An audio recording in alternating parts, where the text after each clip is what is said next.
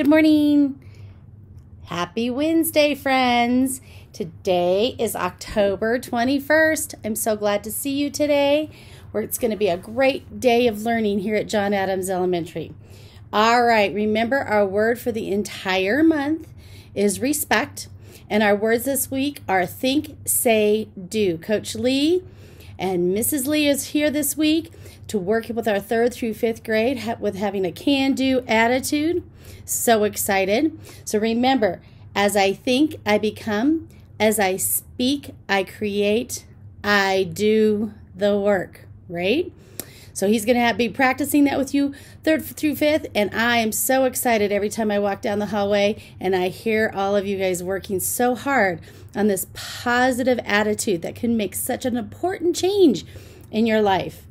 All right, here we go. Today I'm only going to say the letter. All right, here we go. We are John Adams. We excel with pride. E. X. C. E. L with pride. P R I D E Adams Wolf Pride. Good job. I heard a bunch of you when I was walking down the hall yesterday doing it. That was so exciting. All right, our fifth grade star students. Uh, we had Taekwon yesterday, Jackson, and Sanaa. Today we're talking about Jackson. All right, Jackson.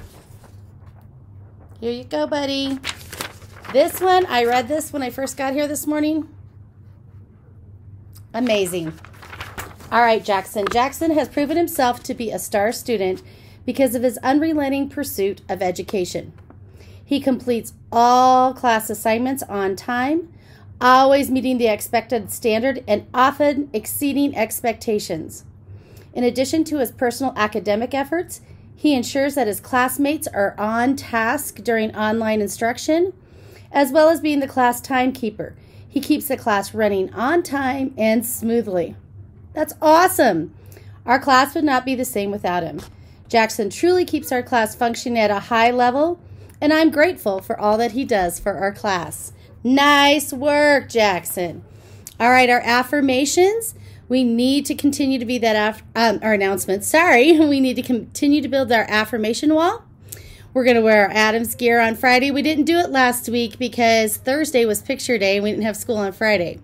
So we're looking for the new spirit stick winner on Friday.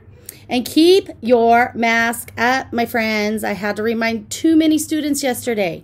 All right, and wash your hands. All right, and our launch today is I choose to be a champion. All right, my friends, have a great day. I'll see you online and in and around school. Make it a great day.